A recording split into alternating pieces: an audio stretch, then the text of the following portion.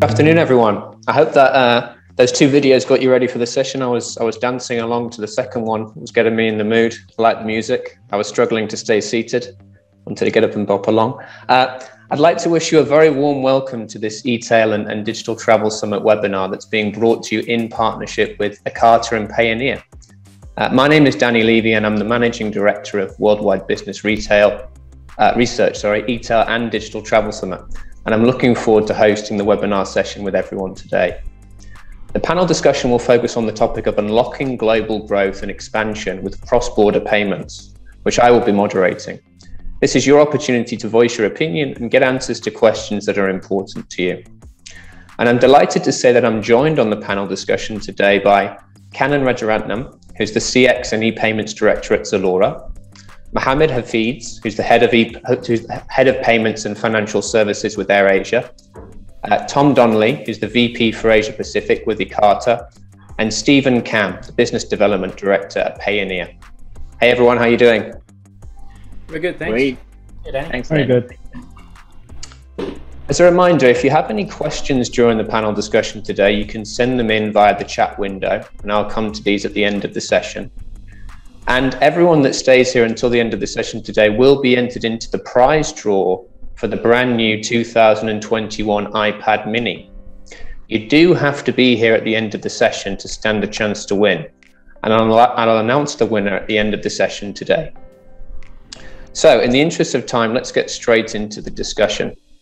So, the first question I've got for you all today, and it'd be great if you could do a quick introduction of yourselves uh, just before you we get into the question as well, is what is the most important lesson you've learned about digital commerce in the past year during the pandemic? And Kannan, it'd be great if you could kick us off. Right. Thanks, Danny. That's a great question. My name is Kannan. I'm the regional director for customer experience and payments uh, for Zalora. So I looked after the strategy and also operational aspects of payments for the Zalora group. So quite interesting. Uh, um, so the, when the pandemic first hit us um, somewhere in uh, late 2019, we haven't feel the heat yet. And uh, what happened is um, right after that, we saw some accelerated adoption in some channels, some payment channels, while in some geographicals. And uh, while some markets remain agnostic to the to the change, um, and the real challenge was uh, in driving change in markets that were high stickiness uh, to traditional payment channels a lot of times we we realized that this could require additional investments from our end. And this came way earlier before even the pandemic where we invested quite heavily in in terms of like offline stores and also in terms of pop-up stores really creating the presence that Zalora is available and establishing the trust. And that led to the customers eventually uh, adopting the, the the, the shopping experience and i think one of the key things we have noticed is that when when a new customer comes on board there's always a high tendency of them trying with less risky payment channels, which is cash on delivery. Uh, and then um, after they're comfortable, they move on to a different channel. Uh, but however, during the, the pandemic, we also noticed that uh, this was not the case anymore. Uh, a number of new customers that was acquired was also attempting to use digital channels as a payment as a payment uh, medium for for shopping with Zalora. So that's what we noticed. Over to you, Danny. Thanks, Kannan. Uh, Mo, can I come to you next? Sure. Hey, Danny. Thanks. Um, thanks, Ekata. Thanks, uh, uh, Payoneer, for, for inviting me today. So I head up um, payments and financial services for AirAsia as well. And the, the, the question I always get is, um, AirAsia is only an airline. And what do we know about retail? Um, interestingly enough, AirAsia, although that brand has been synonymous with flights, um, we actually took a very significant pivot into a variety of digital businesses um, a little before the pandemic hit. We just kind of accelerated that um, when it came aboard. Now, one thing we did realize was as we built out the environment, we've always been, AirAsia has been a online airline from day one.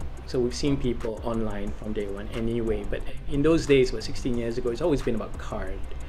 So one of the biggest lessons we, which was very, very visible to us was as we start looking at retail and other services that we provide like Fresh, which is actually our, our fresh food uh, business, plus the food business and the ride hailing business that AirAsia is now doing and is also available in Singapore, is that the sentiment around what is digital commerce to a consumer has now kind of leveled off. To them, it's exactly the same perception. They want the same way that they actually do. They don't want the ability or they don't want the need to sit down and pick a payment type anymore. You know, it, payments already hygiene. The digitization of payments is almost a given. Now, what's making what's kind of made it worse is I think they've kind of gotten used to the fact that they pick up the phone and and they could do anything they want now. Book a car, buy milk, book a ticket, fly somewhere. They've kind of expected everything to work the same way. So for us, um, we focus on the consumer experience um, a lot more because we feel that that is what our customers are all about and, and for us to sit down and, and deliver to them, which means payments needed to be somewhat, we use the phrase internally as invisible and not visible at all. It needs to be something that is a given. It has to work all the time. And I think Kannan raised a very good point. The transition between payment types was also something we saw. When the pandemic hit, shift away from card as a as a typical piece as people started getting worried about credit was very visible for us because we, we run very localized country-based business in ASEAN. So a lot of people started going into direct debit some even into they couldn't do COD. We were doing COD. We saw that drop off the the, the, the, edge and the, to zero actually. But the sudden adoption of digital was massive. Um, so we, we started to have to ramp up on the other side. Fortunately for us, we just had to accelerate what we were planning to do. And I thought that was a very interesting um, visible because um, characteristics, because right now the buyers are not the typical buyers we saw. We had purchases that were 10 years old. We got 15 year old guys coming to us buying stuff. And we have the typical buyers like people our age anyway who buy for the family as well. So I think that who the customer is also changed, right? Because the consumers changed. Thanks, Matt. Uh, Stephen, can I come to you? Of course. Thank you, Danny. Um, my name is Stephen, and I look after partnerships uh, across APAC for Payoneer. So I agree more that um, you know customer experience is is very very important. Um, maybe not just uh, for payments, like and I agree, like payments should be invisible, should be sitting on the background, and should be ultimately safe as well for the consumer to use it. Um, but it's, it's not just you know the payments flow. I think the whole customer buying journey should be relatively uh, easy one, a smooth one. Um, you know, I think having a Google Sheet for you to fill up a order and then having WhatsApp to confirm the order and you know maybe sending a screenshot of your bank transaction that doesn't really work out anymore. Um, it may be good for you know a business that's just starting out, but as you develop your brand, as you develop your presence, uh, whether it's locally, regionally, I think it's important to think not only of payments, uh, but also the whole customer journey. Um, and then that is kind of where it brings you, you know, separates the best from from the good. I completely agree. Tom, can we can we get to you last to introduce yourself and, and give us some of your insights? Certainly. Thanks, everybody. Nice nice to see you all.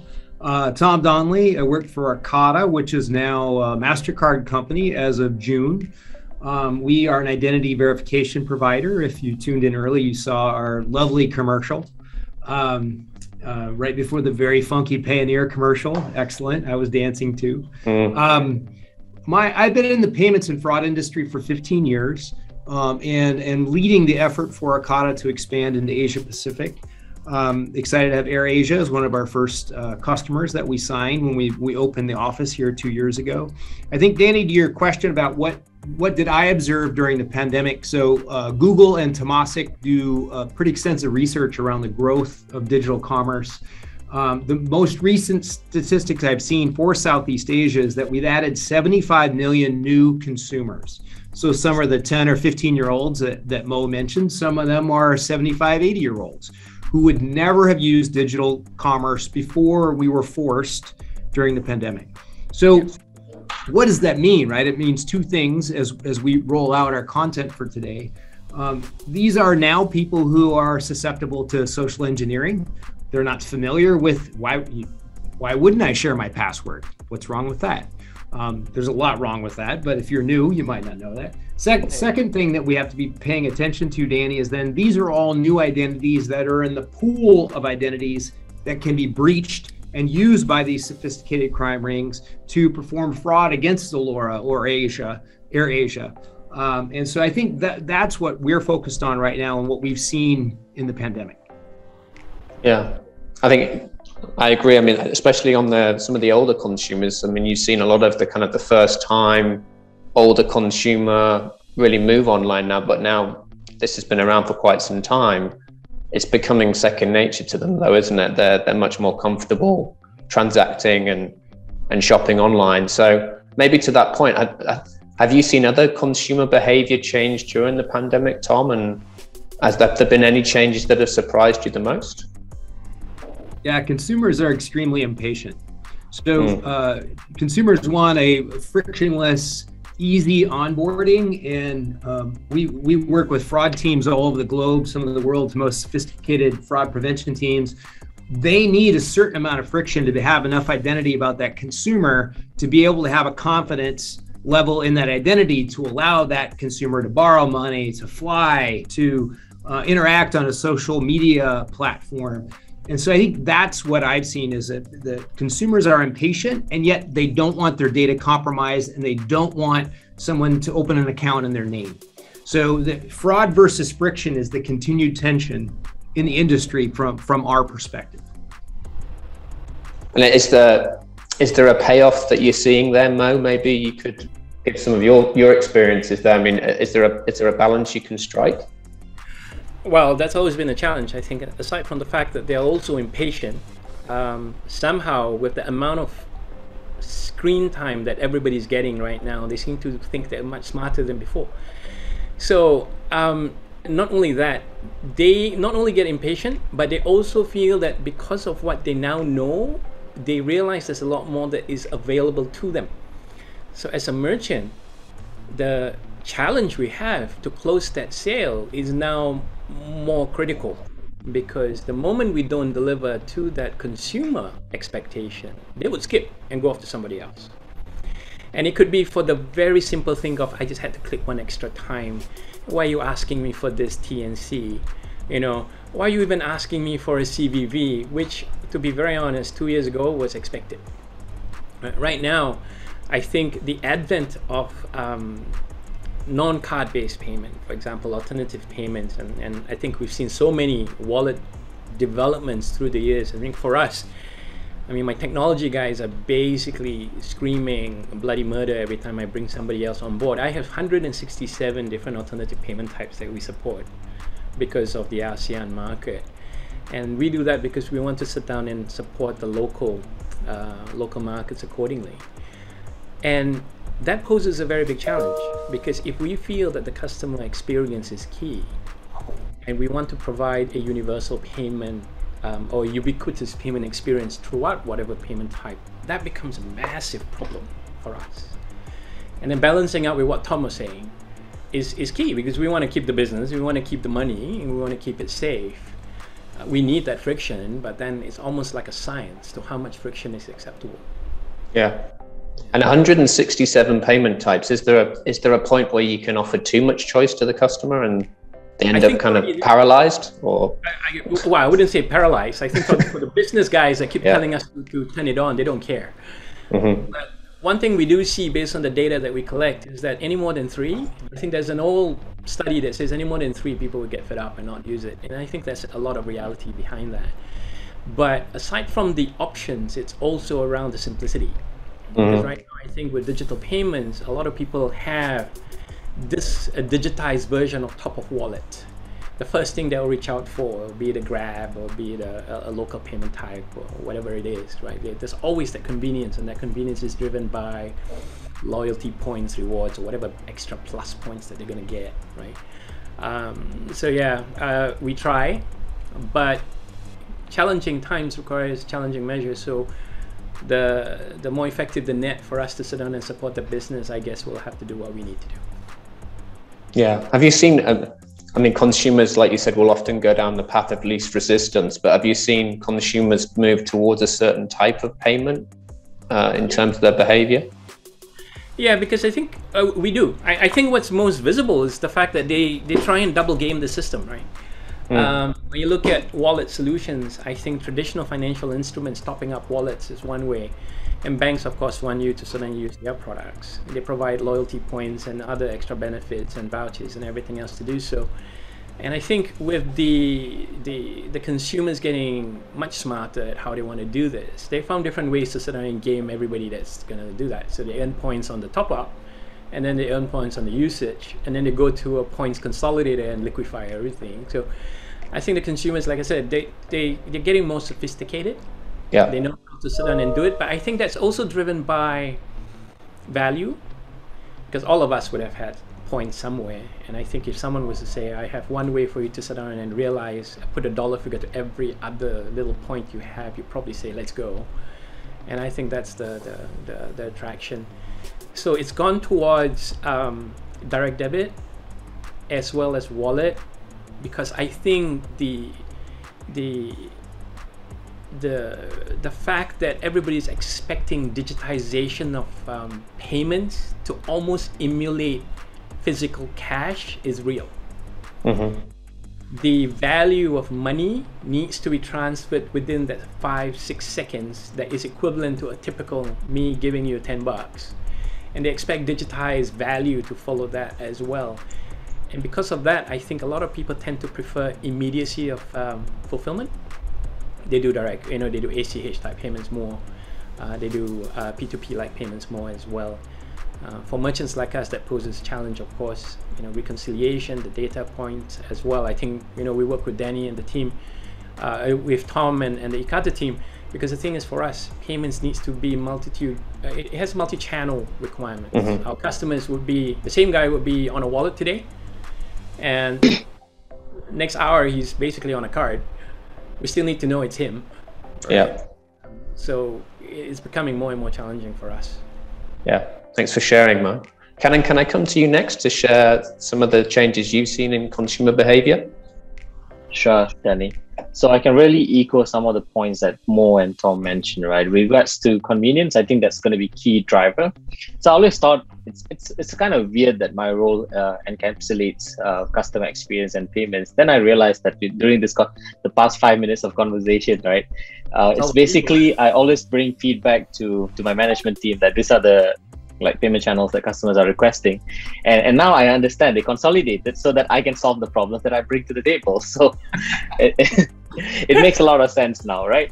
Uh, but yeah um, convenience is key. Uh, so we noticed that with regards to evolution of products card on file tokenization wallet linkage and network optimization have really improved helped us improve our top line and salvage the, the leakage of the revenues that we were used to have before uh, but I think one interesting trend or one angle that could bring a different perspective to this question would be we were quite complacent to the fact that COD customers would be fine to have close contacts during the pandemic and still exchange physical cash. And however, within the first wave and, and then within like a couple of days, uh, once the first wave hit us, somewhere in March 2020, if I'm not mistaken, we were receiving quite a lot of feedback that, hey, maybe you guys should consider having like a, a non-contact ability to transact, but we still going to be a COD customer. So we're not going to move to digital uh, digitalization, but we will prefer to have the the physical. Uh, I mean, we, we prefer to have the exchange of cash, but in a more digitalized way. So technically, it's, it is digitalization, but in a in a more um, what do you call passive way. So what we had to do within that three, two to three days, right? We really had to go to all our logistic partners and also looking into options available. And we launched a QR static QR based payment uh, in in multiple countries. Um, if we start off with Malaysia, Singapore, and Indonesia, it, it was a quite a monumental task given that we only had like a couple of days to go live.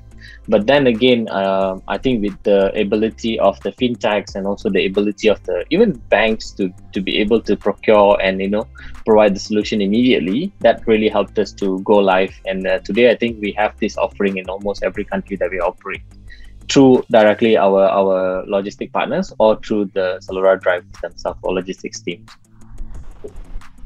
Even though you went live in just a few days, I presume now that's been optimized over time, has it? Uh, Yes, yes, Yeah. for sure. So the reconciliation was a, a mess in the beginning, of course, right? We, with static QRs and, and manual reconciliation. But along the way, uh, we have a more uh, uh, what you call dynamic process to to this uh, feature now. Fantastic. And Stephen, can I come to you last from what you're seeing in the market? Sure. Um, maybe I'll just start with what has uh, really surprised me about the consumer behavior during the pandemic. I think the first thing was um, a lot of the consumers and businesses started to sort of support each other. There was a lot of push for you know buying locally, supporting local businesses, and to some extent also using local payment methods. Um, I think that that is also helped by uh, local regulation, government coming in, stepping in, pushing for the digital transformation. And you know, in some cases, the government even provides subsidies for businesses that's going digital, or you know, putting subsidies into digital wallets. So there was really a big push from, I suppose, uh, from top down and also from sort of a bottoms up. Um, but you know, to a certain extent, I think you know uh, we tend to want to help only you know if it's easy for us to to help, right? As well. So um, there are some basic fundamental layers that still need to be there, uh, including, for example, accepting local payments. You know, whether if I'm doing a a P2P bank transfer to you, um, it should not be too difficult for me to want to make payment to you or buy from you, right? Uh, so in that sense, you know, because of the intention to help like local businesses and and uh, you know local consumers coming together, um, there has been a big push for uh, local payment methods, uh, localization of um, the businesses, you know, and I think that that sort of you know really helped the community in a way. The pandemic has kind of make us closer to each other, even though you know we should not be doing that, but yeah, yeah, this is um, what I, I saw in the market. It definitely put us all in the same boat, didn't it? Yeah. Uh, and so, Stephen, can I can I stay with you for a second? And I mean, you were mentioning um, some of the local payment methods there, but in terms of cross-border, um, what digital trends have you seen in the last few years that have had a significant impact on the on the cross-border business landscape?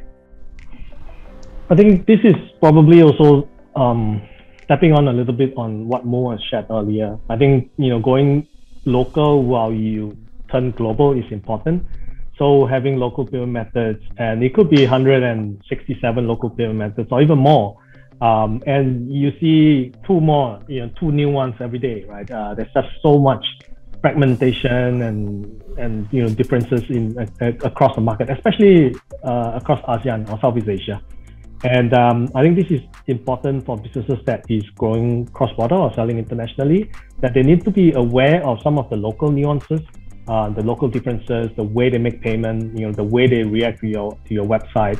Uh, it's not just about language, you know. Of course, language is uh, important as well. You should have a sort of a, a localized version uh, of your store, but you know, beyond that is really understanding, you know, consumers locally because people buy from things and and you know brands they, are, they they know or they understand right? So when they're interacting with a business that maybe could be foreign to them today um, but they see something familiar right? Whether is it a payment method um, you know the bank they have been using for like 20 years things like that they are familiar with it. It makes them feel a little bit safer when they're trying to buy stuff from you so we see that a lot, um, and I see, and it's definitely translated into increase in volumes for local payment methods, alternative payment methods, and even fintech, you know, across the region, just purely because there's a gap, um, you know, where the traditional incumbent, the banks, they, you know, they that they have um, ignored a certain customer segment for a long time, you know, the underbanked, the unbanked people. So the fintech players are coming in to fill up the gap, uh, and then providing innovative solutions, and therefore, you know,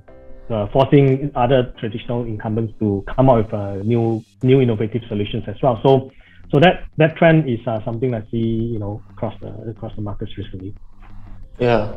And you mentioned when, when you when you go overseas, you, have really got to be aware of the, the local differences. Just make sure you get a handle on that quite quickly. Any recommendations there for the for the people watching on, on some of the ways you can can do that well?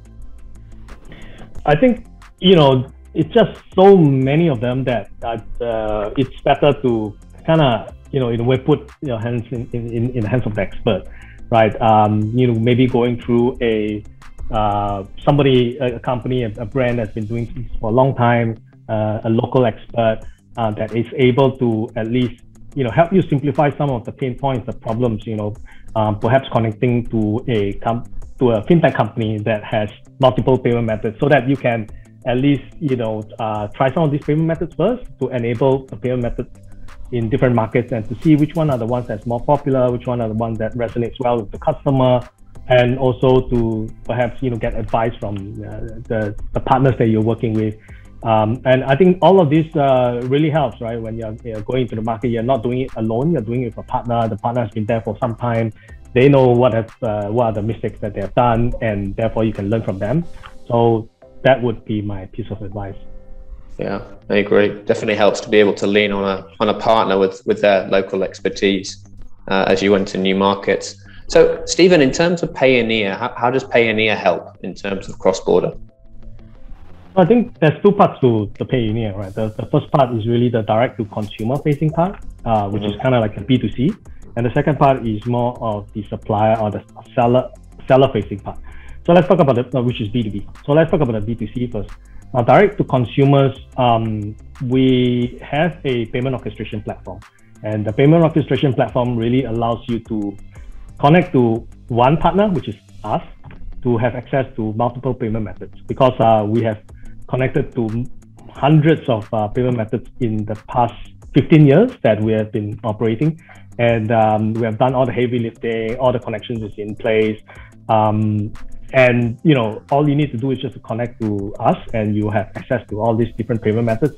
It's kind of like going to the supermarket. You know, you want to get a beer, and then you have a whole shelf of like 30 beers uh, from different markets. You know, just sitting there, right? So it's easier for you, right? You don't have to buy directly from the uh, different market. So that allows you the convenience, uh, the expertise, and um, you know, uh, and also we have done all the connections for a long time, right? We know who the partners are. We know who the players are, and you know we can easily also provide some advice on which are the more trending sort of payment methods, which are the ones that doesn't come with disputes or chargeback, things like that.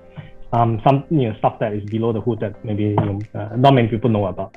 Now that's that's kind of the B2C part. Now on the B2B part, um, we facilitate cross-border payments, especially to sellers, right? So if you are a marketplace, um, you are the supermarket, right? You need to make payment back to the supplier of the beer, um, and and these guys could be like overseas.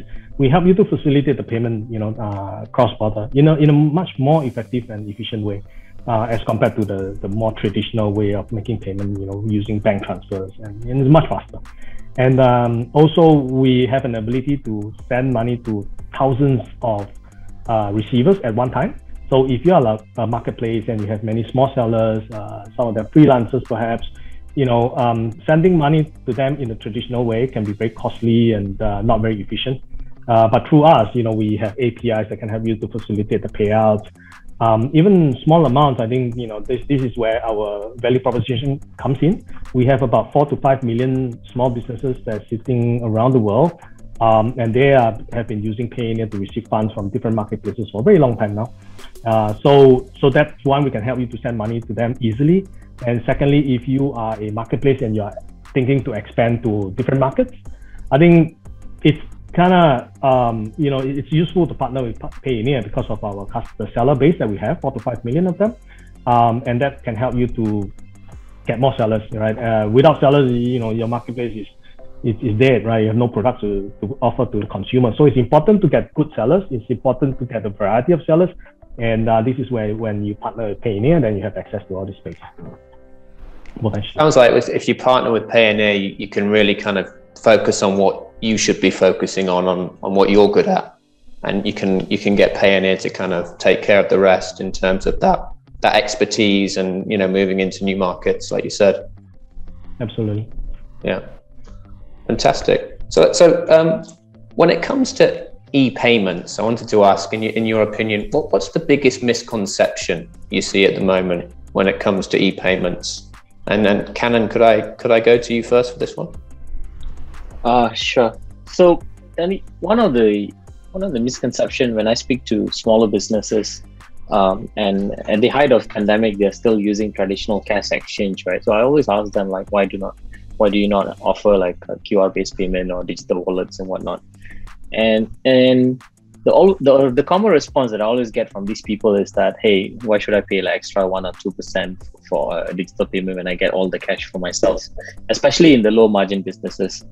And, and I think that's a misconception because when you view it in that point of view, what you're losing out is actually the customers traffic that these payment channels could drive to you because some of these some of these uh, payment channels are on an aggressive marketing drive uh, that could be one and then the real advantage of having a, a digital payment is also on controlling leakages, um, improving efficient processes with regards to conciliation. Uh, also, with, with cash and delivery, especially for retail, we experience high number of cancellations.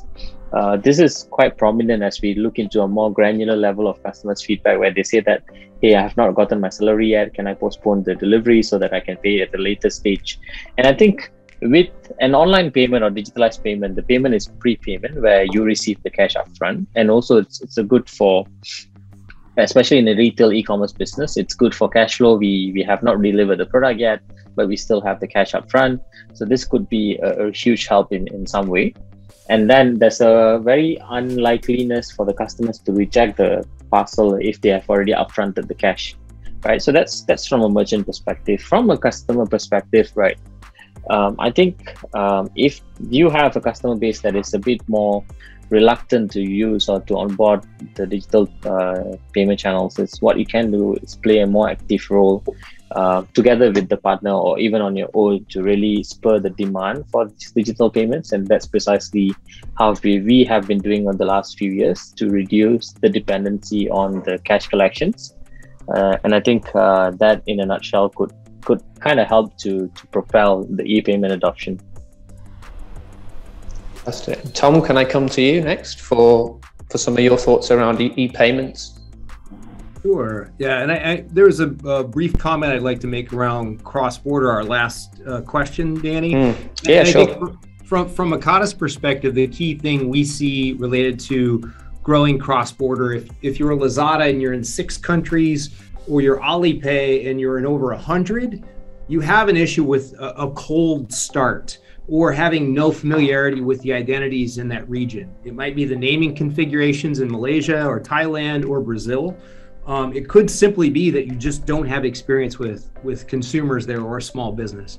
And so I think that's one key thing that that's a challenge that businesses have to overcome as they become more cross border.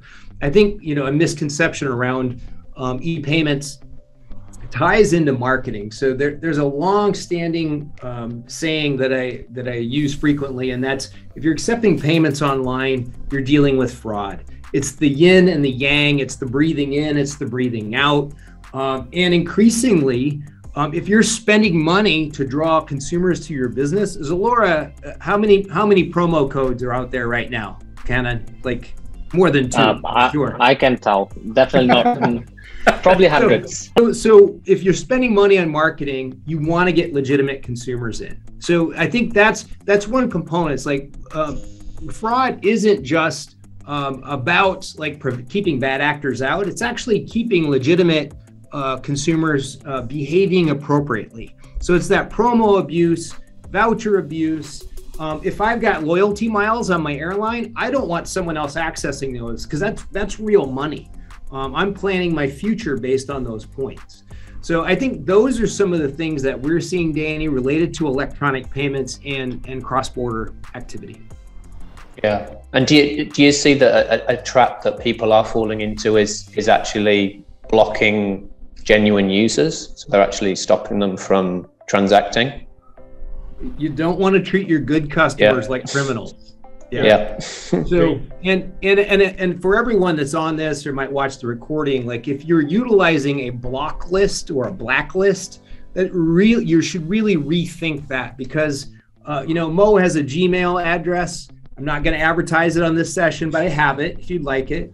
Um, and it, it, may be compromised at some point, but he, if someone uses his Gmail to open an account and borrow some money, he doesn't want to be blocked on that business, right? And so he's going to take possession of that Gmail back. So that that component of having a dynamic way to verify identity and using layers of prevention, as opposed to a definitive um, blacklist, is, is, the wave of the future. Yeah, and maybe I'm a, I'm a beginner in this area, but in terms of this identity um, measures and the layers of approval is that something that's difficult to set up? Does it take long?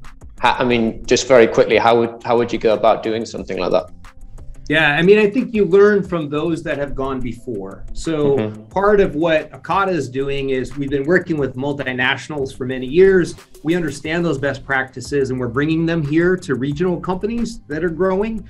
Um, I would say it is difficult. AirAsia has yeah. gone through a lot of evolution in the last couple years. We're only a part of that. Um, partly they they do research on best practices. They they've done very thorough RFPs to look at the solutions.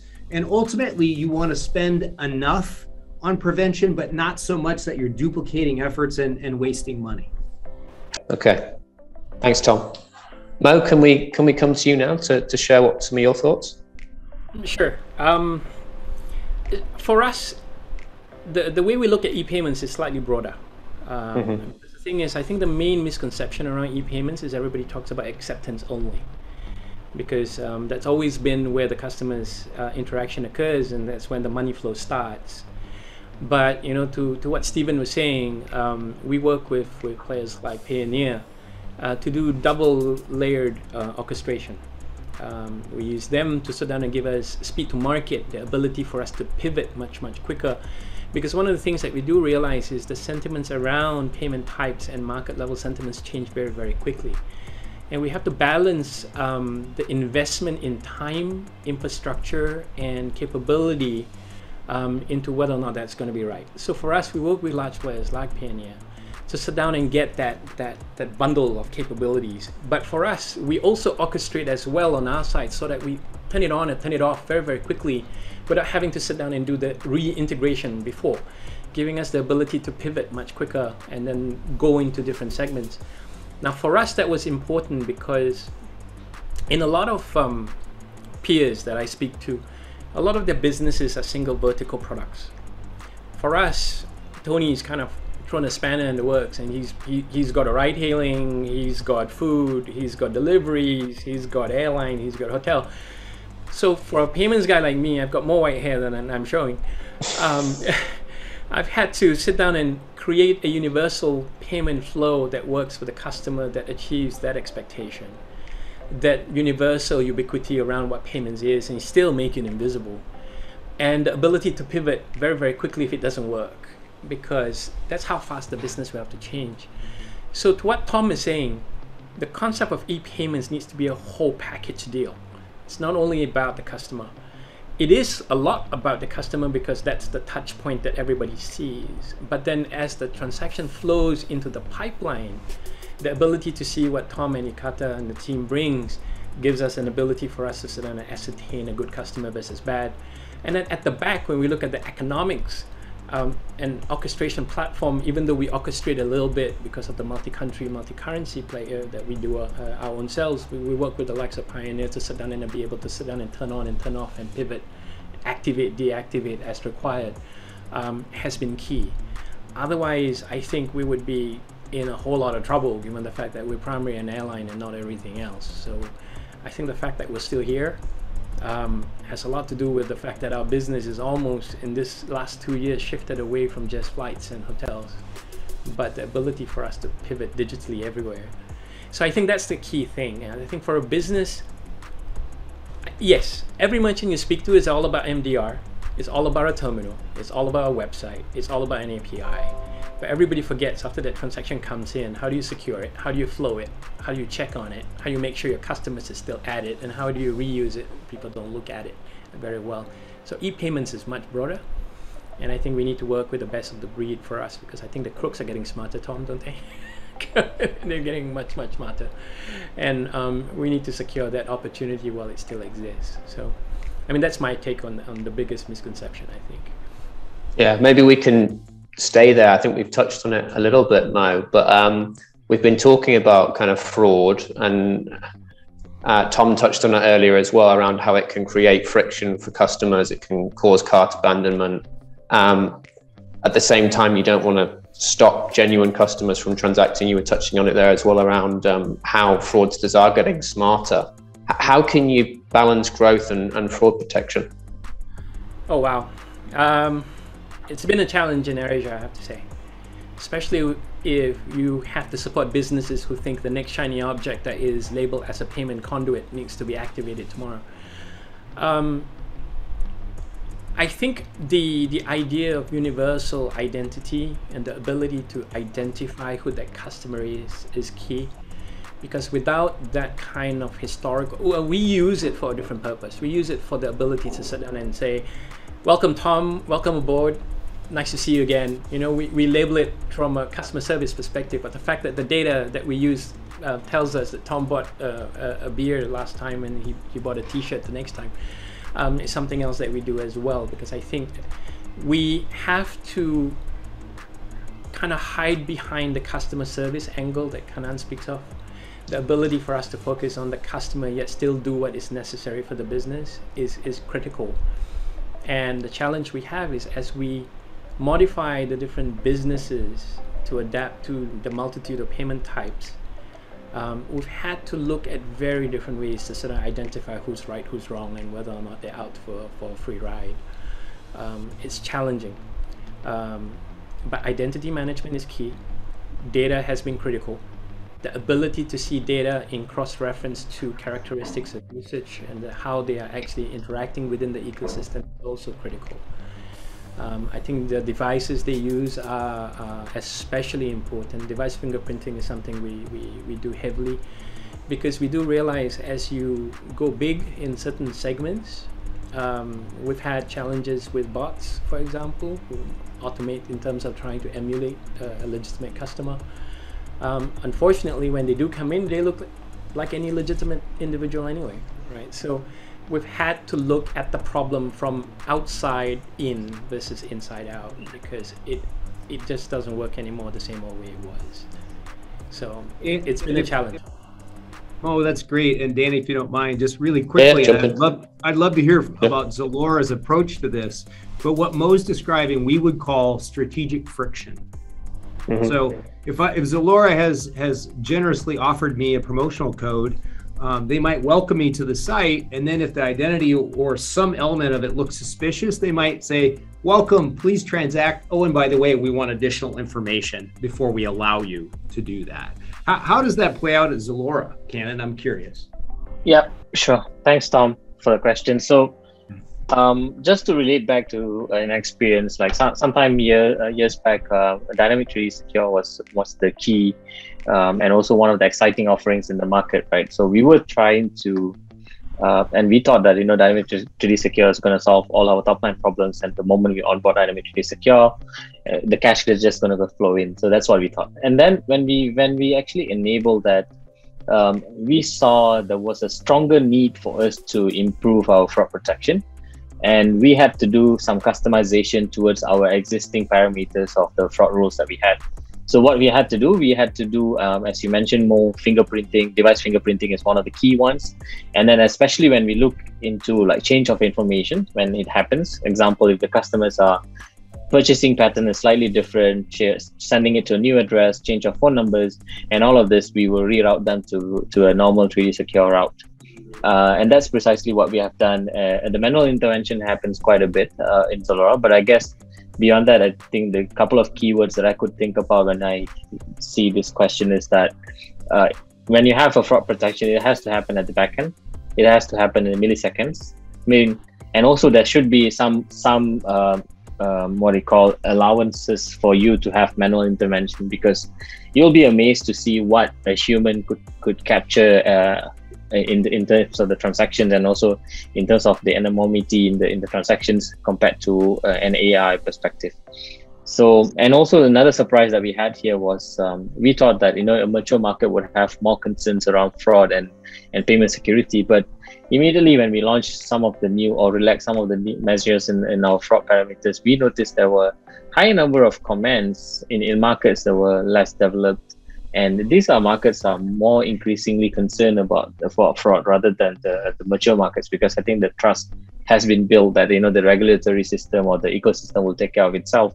But in growing markets, we are seeing quite a number of comments. I hope that answers your question, Tom. Stephen, do you want to give some of your thoughts around uh, this point as well? Sure, sure. So I think in my professional career, um, in the past 15 years, I've uh, been mostly involved in sales, account management, and working directly with the merchants. And I've seen my fair share of fraud, uh, you know, and and disputes and, and chargebacks. And sometimes it can get really, really scary, especially when a business uh, just want to, you know, go to market without thinking through about the, the process of selling it to the market. Um, and as a salesperson that's actually selling, you know, to the merchant, when I see the merchant having a lot of fraud, I think it, it scares me as well. And and that's why I think uh, it's important to take a calibrated approach when it's, uh, especially when you're selling to the new market or it is your first time, you know, selling online. Um, I've actually, you know, onboarded, acquired a, a merchant that is a traditional jewelry sort of a merchant. They never sell sold anything online before, and the first day when they went online, there was like, yeah, it was it was bad. Like there were so many orders coming from developing markets, and uh, all of these orders were like for gold and jewelry and, and whatnot. And um, needless to say, there was like a huge chargeback and huge disputes. Um, but you know, though, though that's that's one end of the spectrum. Of course, you don't want to be on the other end of the spectrum where you know you're paralyzed by all this uh, analysis and you decide you know to have so much so much you know the processes and practices that you know it's, it's almost impossible to buy from you so that same jewelry merchant the next day decided oh my god you know because of these disputes and, and these transactions they decided to personally investigate all transactions coming online you know whether it's calling the customer you know sending them texts making sure that they reconfirm the order so in that sense, a lot of there was a lot of false positive. People who were trying to buy something legitimately on their website became pissed off, right? Because there was just so much friction, so much hassle. Um, and you know, to, so really, you want to get an approach that's somewhere in the middle. And I think this is where you potentially can, you know, again, coming back to working with partners, guys that know their stuff, and and trying to sort of you know, uh, just to just to have a, a good balance so that you know you don't piss everybody off. Thanks, Stephen. Um, we're entering the, the last kind of uh, 10 minutes. I've, I've got some more questions for the panel here, but if you, as the audience watching, if you have any questions, feel free to pop it into the, into the chat window and I'll make sure to come to your question uh, as we move into this last uh, section of the, of the panel discussion. So, so please do pop any questions you have and I'll, I'll come to your question. Uh, if you want to direct which uh, panelist it wants to be at as well, I'll, I'll direct it to the, the specific person also. Um, so moving into the future then, um, any predictions on what the customers of the near future are going to look like and how can you make sure that you're attracting and you're converting them and, and, and you're also keeping them? I think that's crucial, isn't it? You, you've got to keep customers these days because it's so easy to, to jump and, and once they do jump, they're probably never going to come back or it'll take a long time to win them back again. So you want to keep them. So Kannan, can I, can I come to you to get your thoughts? Yeah, sure. Um, so I guess the, the, future customer will be well informed, and I think this echoes very well with what Mo have actually mentioned earlier. That you know, customers today are really super smart. They have everything on their fingertips. You know, even even when we talk about the the, the structure of buy now pay later and how this could actually stimulate irresponsible spending and whatnot. But this is not the case, right? Because customers have all the information available to them, how much they're spending, how much they could control a bit more, and I think there are also multiple self personal financing help that could help to consolidate or curate uh, some of these offerings. So that that is one. And I think they in, in the notion of like not having too much choices where customers will eventually drop out, I think we can also look at it from the angle of like how about having more choices where you have different drivers of traffic coming to your uh, site or platform and allowing customers to spend. And I think last but not least uh, would be convenience will be the key to increase the frequency of purchase. And I think a couple of years back, um, um, using my phone, right? So you know how convenient Apple Pay is. So it's just a it's a scan of your face with a double tap on the side, and then you get the transactions through. So I was playing this game. Uh, my wife calls it a stupid game, but then again, that's one way of me relieving my stress.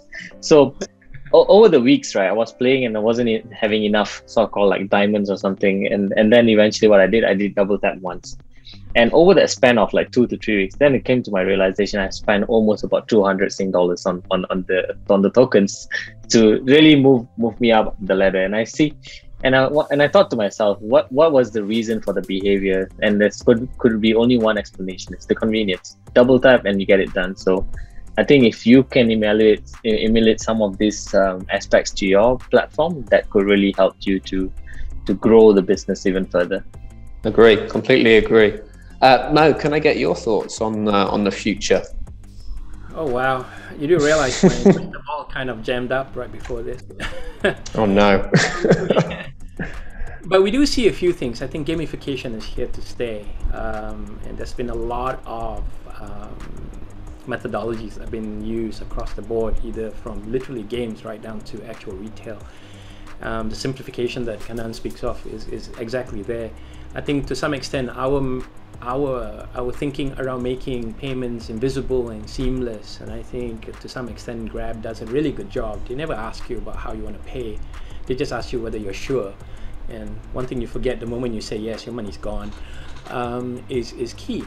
But one thing we do realize is the fact that with the and all of us can assume that we're still in you know either Gen Z or millennials if we really want to be, but we, we definitely will not be able to be identified within that cohort.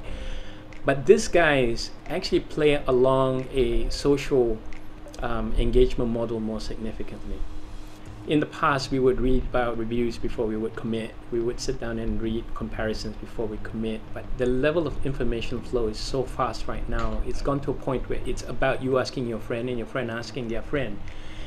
And because of the simplicity about committing now the transaction happens very very quickly. But what is also interesting especially on the fraud piece tom is the fact that because they can commit so quickly the return and chargeback and refund processes are also expected to be done very, very quickly, right? And I think the consumers now feel that that is actually their right to commit and to be able to return and still have their money back where it's due as well. So I think going forward, the transparency and the consistency around the messaging for a merchant in terms of the value you provide, what you stand for, the messaging around safety and security, is definitely key messages we need to continue to put out there because people now are starting to worry about, about what you're giving you and, and what you're showing to other people and, and how come you know what's going to happen with them and everything else. So um, the form factor is a given. The level of awareness is there. There will still be a, some recklessness that comes with the gamification component, but we see it all come back as either a chargeback or a refund process. That's going to be a, a little bit of a pain, unfortunately, but as a merchant, that's almost necessary for us to do. I think for us to sit down and have stronger processes to manage that, especially when you start looking at regionalization, is going to be a challenge for us.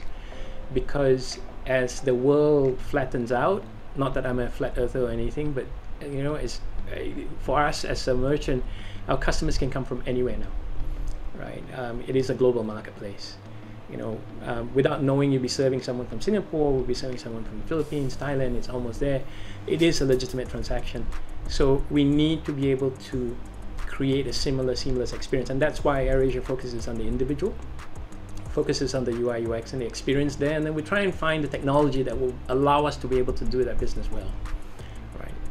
So I think that's that's what my crystal ball is saying before it kind of crapped out. So um, we'll have to come back again and, and tell you what the rest of the, the storyline's about, Danny. when it's working, I'm, I'm going to have to give you a call when it's fully working. That was that was pretty that was pretty good with uh with the damaged one. Oh, okay. Uh, yeah, Tom. Maybe before I come to you on the future, there was a question here from the audience um, from uh, Lisa Glasgow. Um, can blockchain help validate individual identity vis-a-vis e-payments, and, and does Ekata use this kind of technology? Yeah, so that's actually a great question, and it ties into the future, Danny. So that's, if you think about, yeah, you think about what we're doing online. We are trying to uh, replicate what what most consumers prefer, which is a cash payment in person. Yeah, mm-hmm. and merchants do not want to pay fees. Mo Mo used to work at Mastercard too, so he knows Mastercard is diversifying to identity solutions like Ekata because everyone knows the life cycle for credit cards is going to be limited as, as other options arrive. The, the other thing that when we're talking about, like, so there's the cash payments in person. Today, no one is interacting with the internet telepathically. So until we can actually authenticate with our device in a biometrically proven way that can't be hacked or spoofed, there are going to be these middle uh, middle ways, and Ekata is one of them to verify identities in in today's commerce, right? blockchain. I mean, blockchain is is has been an amazing technology for for crypto, um, the advancement of crypto exchanges and a few other technologies. Ekata doesn't currently use it, but it is the future where we are able to have a globally adopted framework that everyone is opted into. Right now, it's only used uh, sporadically. So we are still in this middle zone, doing the best we can with the data that we have um, as there's different standards and different operating procedures uh, across the globe. Thanks, Tom. And there's a there's another question coming as well from uh, Patrick Chung. Um, do you expect any impact from CBDC to the e-payments? It's not directed at anyone, so I don't know if anyone wants to wants to tackle that. So CB the, that acronym that's the central banking digital currency, correct? Mm-hmm. Correct. Yeah. I mean, again, like the expansion of, of um, digital currencies, the beauty for B2B payments, there's no uh, there's no conversion fees. The payment is immediate, so businesses are not waiting. I think the the, the few national national uh, banks that are getting into it, it's a fantastic first step. We're still five or ten years away from it being a widely accepted currency to actually be uh, a player more broadly in e-payments.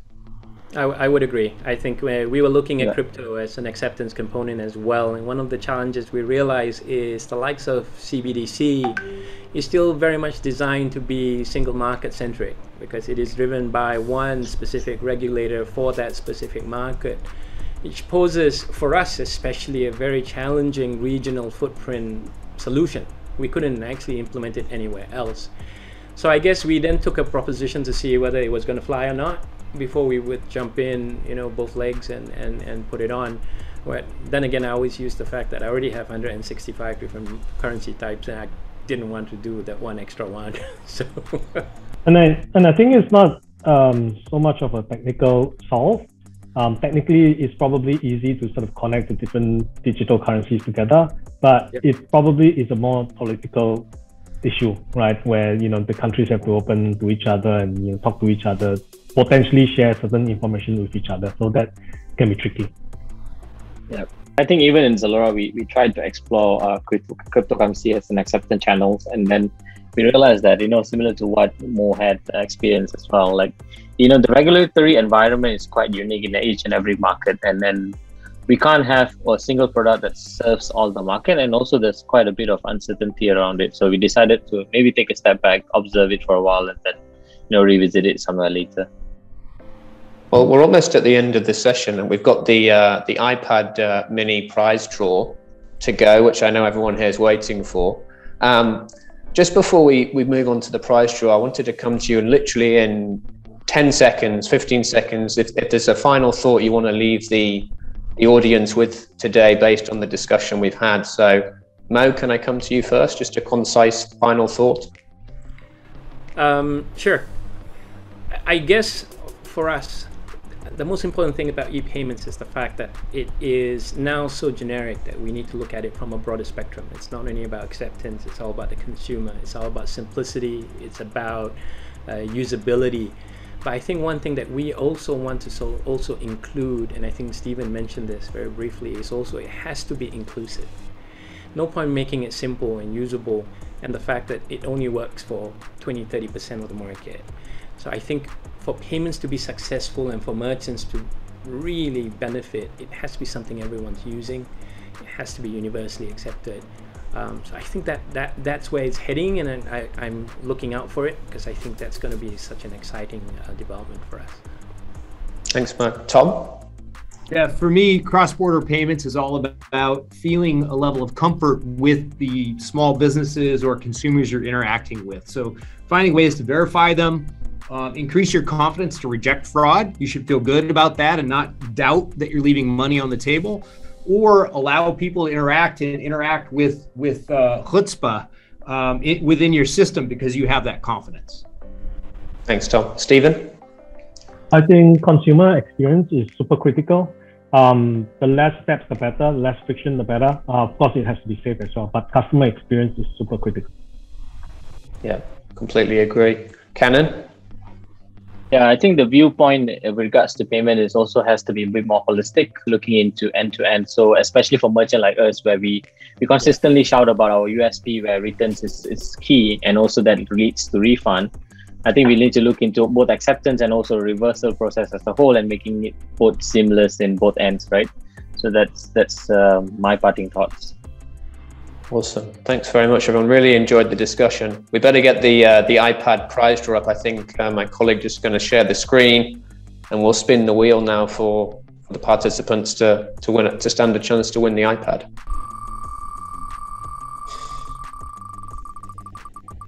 Oh, I noticed your name isn't on there. Yeah, because my my crystal ball went berserk. Remember, otherwise. Yeah. Ah, Alfred got it. Alfred won. Yeah, yeah. Congratulations. Congratulations, Alfred. and share the prize with Bruce, or not. uh, so, thank you very much, everyone, for a fantastic session. I- have really enjoyed it. Um, it does bring us to the end of this e-tail and digital travel travel summit webinar. I- I'd really like to thank Kannan from Zalora, Mo from AirAsia, Tom from Ekata, and Stephen from Payoneer, and of course everyone for participating and, and making it a great session. Um, if you need any more information or would like to arrange a one-to-one consultation uh, with Payoneer or Ekata, please do uh, get in touch with Tom or, or Stephen that are, that are on the session today, or, or anyone from the Ekata and Payoneer teams who'd be very happy to help. Uh, and on behalf of eTail and Digital Travel Summit, I'd like to say a really big thank you for being here and, and joining us again virtually, and, and look forward to seeing you at a future event uh, very soon to continue the conversation with you. So thanks again, everyone, and, and enjoy the rest of your day. Thanks for having Thank us. You. Thank you. Have a good one, guys. Bye. Bye. Bye, everyone.